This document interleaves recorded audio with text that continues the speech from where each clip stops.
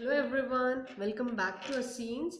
Today we are going to learn how to draw ray diagrams for concave lens.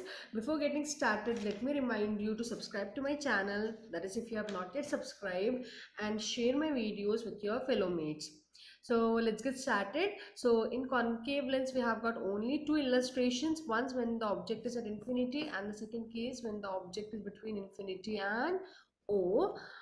So before moving forward, let us learn how to draw the basic skeleton of concave lens.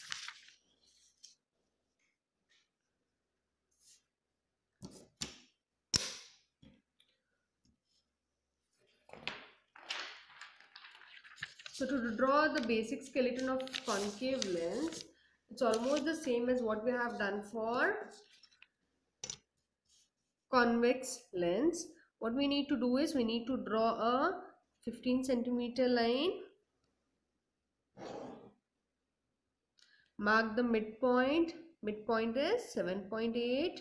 Half centimeter on this side, half centimeter on this side.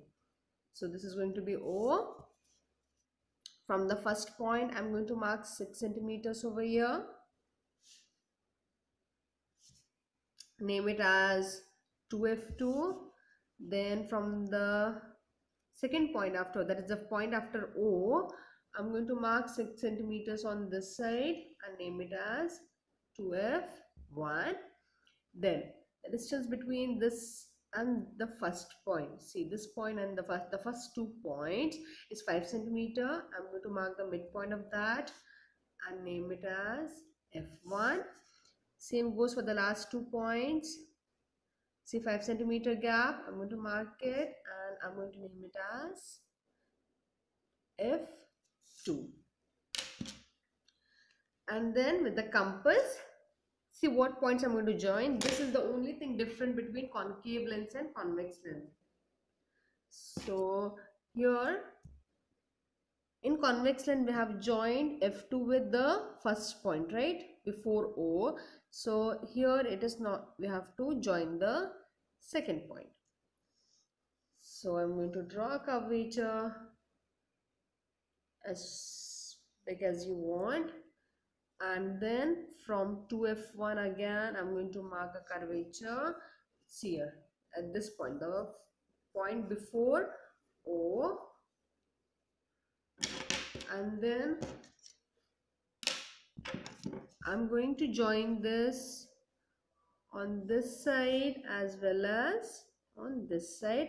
Going to rub the extra part. Okay. So here i have darkened the part. Now let's get started with the illustration. So my first illustration is when my object is at infinity, my image is supposed to be at f1. So when the object is at infinity, we need to show both the rays of light running parallel to principal axis. So here comes my one ray of light and here comes my another ray of light.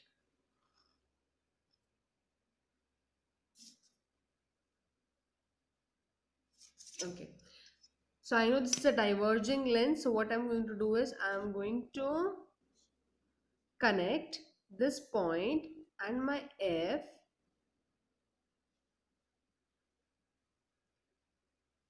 and i'm going to show dotted lines over here. And then from this side i'm going to show that is passing clearly.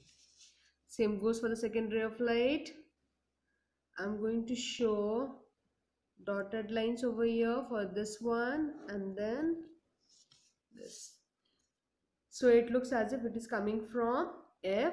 This is a diverging ray of light. This is what we are tracing back. So hence our image is going to be formed at f1 it's going to be point size and virtual and erect. So highly diminished. Okay. So for my second illustration when my object is anywhere between infinity and O. Between infinity and O anywhere so I am going to draw a 1.5 centimeter long object. I'm going to name it as AB I have drawn it beyond 12 1 so as usual you know that one ray of light always travels parallel to the principal axis as done in the lens diagram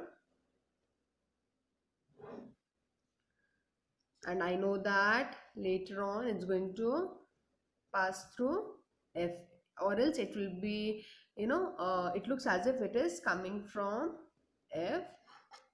So I have shown that here. The second ray of light if you remember I have told you that it passes through optic center for the lens right? So same thing here. Is going to pass through O without any deviation. So you can see here this ray of light and this ray of light is crossing somewhere here. So i'm going to draw a line here. This is going to be my image a dash b dash. See here my image is formed between f1 and o. It has formed between f1 and o. And as you can see the size is very much diminished. This is my object and this little one is my image.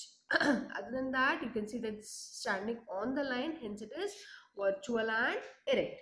So that's it about your concave lens ray diagrams. If you have any further doubt, if you want to say anything in peculiar, you can mention in the comment box and I'll definitely respond to you. Thank you.